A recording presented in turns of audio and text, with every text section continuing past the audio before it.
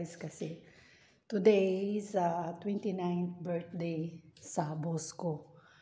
Tapos, pakita ko sa inyo ang mga flowers na diniliver kaninang madaling araw sa husband niya. Tingnan niyo ang ganda oh, nasa table. Heart. It's a real rose. Real. Tapos yan pa, yung base. Nilagay ko sa base kasi malaking buki yan. Nilagay ko siya sa base. Tapos yan yung regalo ko sa amo ko. Pinag, ginawa ko siya. Diamond painting.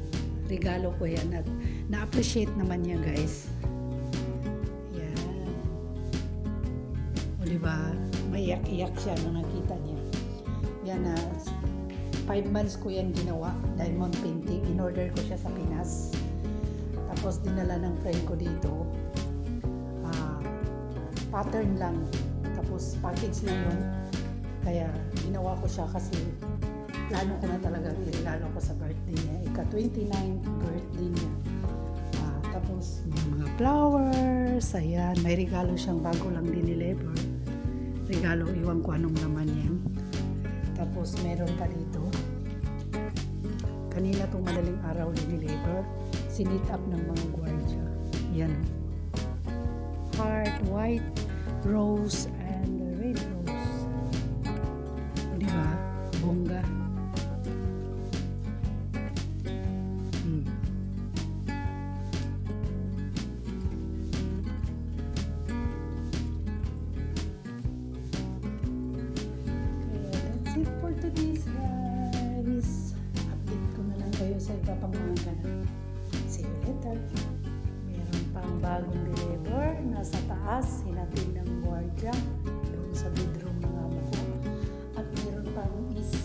ngayon lang deliver. Ayan, orchids. Diba? Super ganda. Super ganda. Meron pa sa taas. Bago nang hinatid. Ganito talaga pag birthday ng ko. Super daming bulaklak ng flower shop yung bahay. Hanggang gabi ito, meron pa rin. Ito, napaka special kasi nasa lamisa talaga siya. Nilagay. Di ba? Special din yung regalo ko kasi nakalagay talaga siya sa lamisa. Na masaya ako kasi na-appreciate din yung regalo ko. Iyak-iyak siya kanina kasi hindi niya expect na may regalo ako guys. Yan yung asawa ng amo ko. Pinatay ko yung pinatay ko yung TV kasi naka-open. Meron pa dito guys sa taas sa bedroom ng amo ko. Nilagay talaga sa harapan ng bed niya. Ang ganda oh, super laki.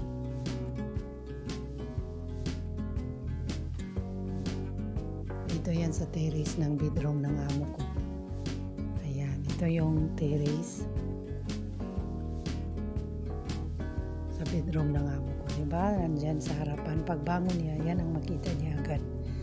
Na-surprise yan siya kahapon kasi gabi yan nandin. Gabi yan diniliver. Pagdating niya galing sa labas, ayan na, bumungad sa kanya sa kanyang bedroom. Iba talaga pag mayaman guys, no? Pa-surprise, surprise ang pig. Tingnan niyo ang labas, oh. Snowing na kasi dito guys. Eh, ano ko lang, i-flex ko lang yung labas. Ayan. Grabe na yung snow. Puting-puti na. Kahapon pa lang nag-start yung snowing na maghapon talaga. Tingnan niyo, ang kapal na.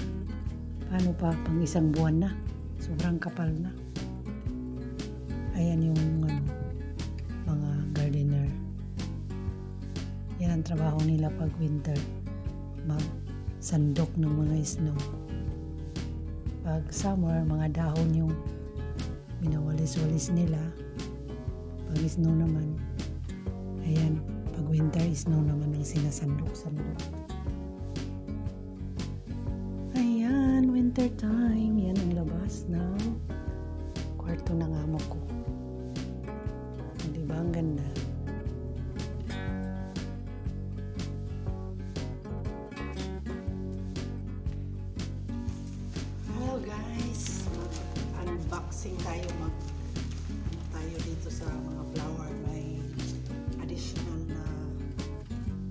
Pinamigay na mga flowers. Tingnan nyo. Diba? Nung, naka, nung Webis pa yung birthday ng amo ko pero hanggang ngayon, Friday na ngayon, patuloy ang pagdagsa ng mga flowers. Ayan, ilagay ko siya sa vase. Naka, naka ano to, nakabalot sa malaking mga ano, buki kasi siya buki. Tapos i-unbox ko siya sa mga papel para mailagay ko sa mga vase. Mamaya makita niyo guys pag matapos ko na lahat. Kasi marami pa. Marami pa talaga, hindi pa tapos. Oh!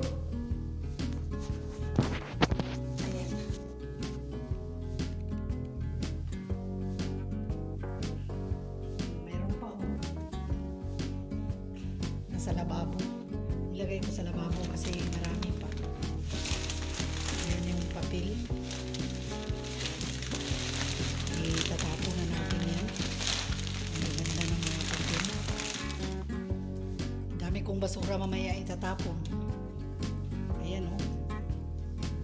Ilalagay natin. Nagpabili ako ng additional na base.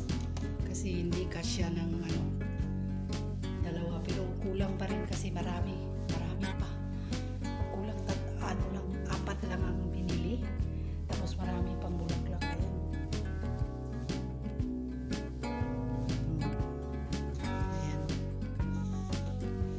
Di ba? Sobrang dami. Eh, Ayan, dagdagan ko yan kasi masyadong malaki yung base. Dagdagan ko siya. Yung white na rose, ilalagay ko dyan. Kasi wala nang base. Kaya yun. Sobrang dami. O kagabi galing siyang ng party siguro siya nung ano, Thursday yung birthday niya. Kahapon ng party party siguro ng mga friends pag uwi dito. Hindi ko na nga na, siya nakauwi. Pag gising ko sa umaga, dami ng bulaklak. Dala siguro nila galing party. Kaya see you later guys. Update ko. Ito na naman. Ayan. Ang bango nito. oh. Ang bango. Ayan o. Sobrang bango. Sobrang bango.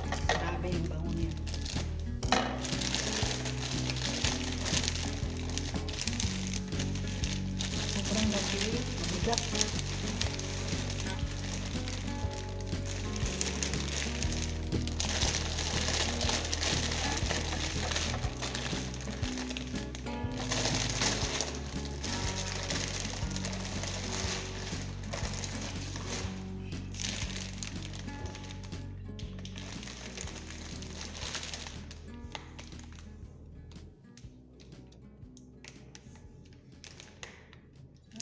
快。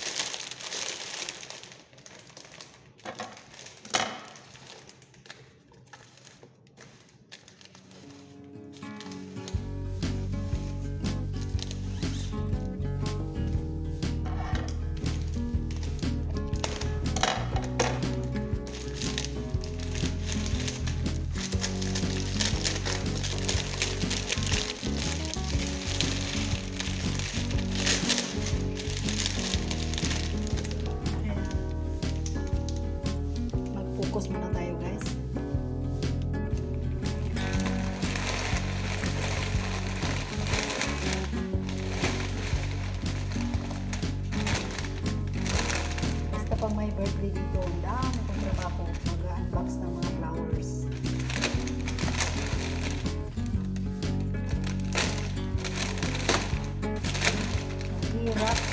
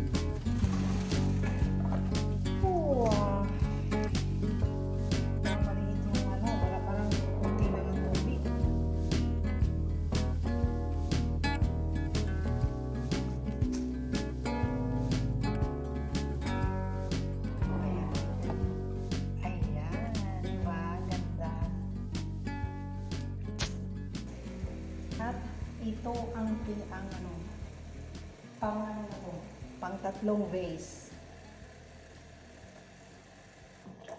Ang tatlong vase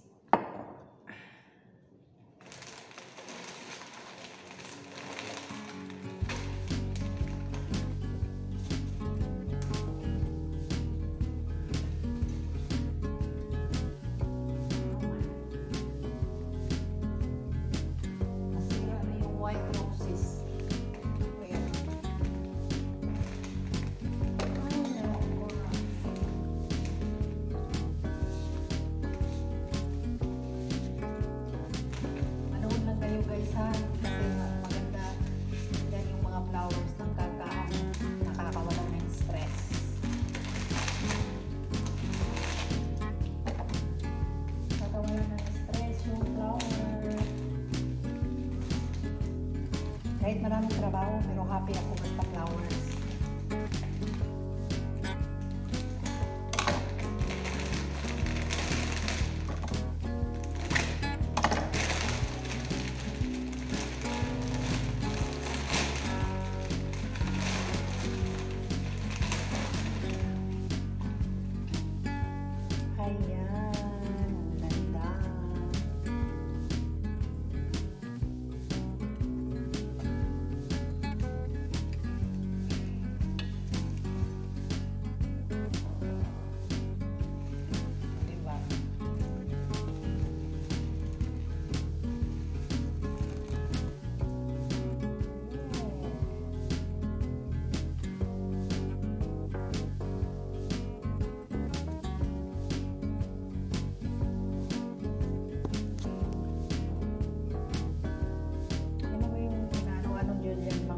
Okay.